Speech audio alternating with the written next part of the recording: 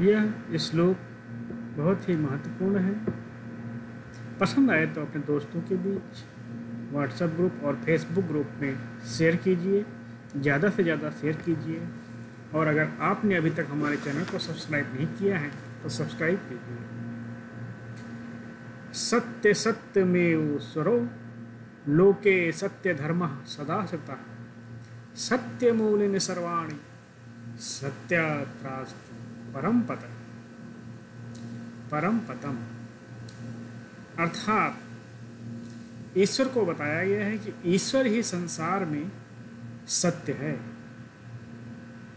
धर्म भी सत्य के ही आश्रित है। सत्य ही सारे भव विभव का मूल है। सत्य से बढ़कर और कुछ भी नहीं है। न ही कश्चित विजानाति। किम कस्य सो भविष्यति। अतः स्व करणी यानी कुरियादैव बुद्धिमान। भविष्य का देखो किसी को कुछ पता नहीं।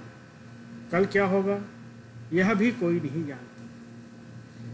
इसलिए कल को करने वाले काम को आज ही कर लेना बुद्धिमानी है, वही बुद्धिमान है। आपको ये दोनों संस्कृत श्लोक कैसे लगे? इसका अर्थ, अगर कोई डाउट हो तो आप कमेंट बॉक्स में कमेंट कर सकते हैं। धन्यवाद।